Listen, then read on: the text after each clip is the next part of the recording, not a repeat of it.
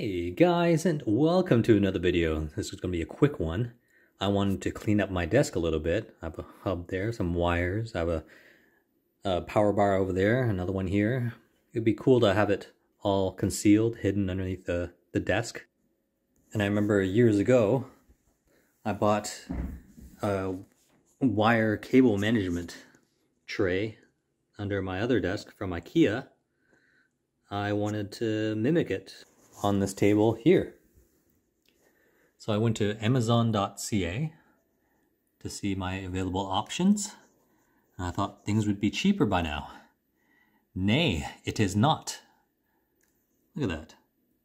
$34 there. $32. $34.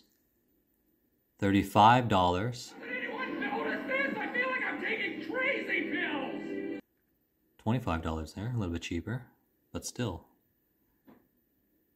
I love how they upsell you with these penny zip ties. Not even worth a dollar.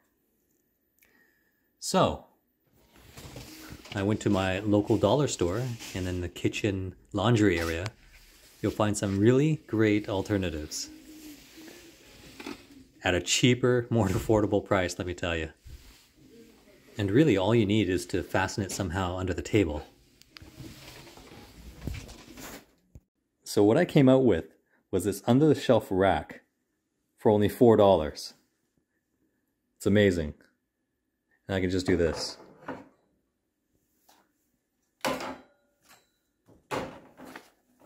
It's a thing of beauty, guys. And only at a fraction of the price.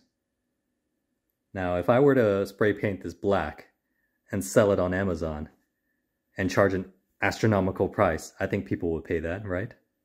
I mean, even I kind of feel insulted in a way for them charging $33. I mean, there's not much engineering that goes into this kind of thing and charge this absorbent amount. But if you're looking for saving money for things that do the same job, essentially, I mean, come on.